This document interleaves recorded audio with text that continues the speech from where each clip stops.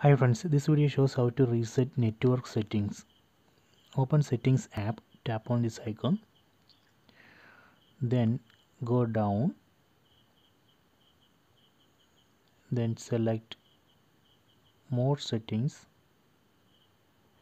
Then go down. Then select backup and reset.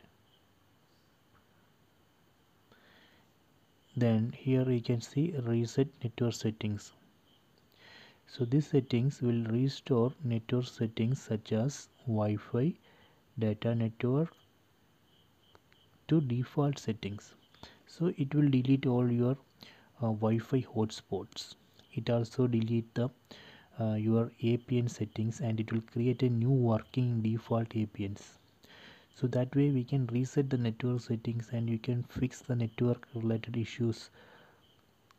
So let me tap on this uh, reset network settings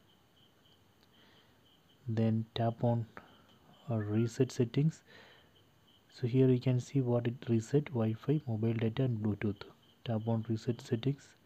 So here we need to enter the screen lock password.